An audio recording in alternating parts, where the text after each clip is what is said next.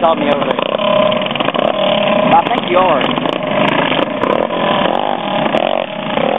You win? Of course. Well, that, that I got hit when I came off the walk though, that woke me up. By who?